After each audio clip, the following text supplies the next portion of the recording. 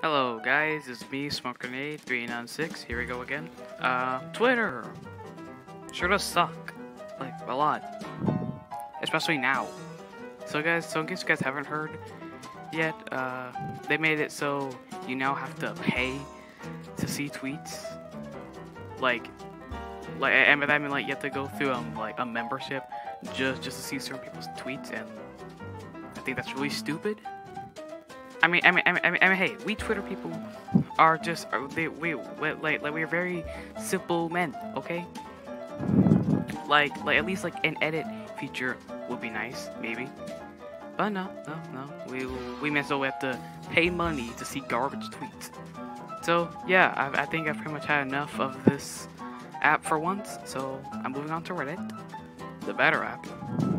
Yeah, so that's gonna be linked down my end cards now, forever. Yep, so without further ado, thank you, subscribe, and bruh.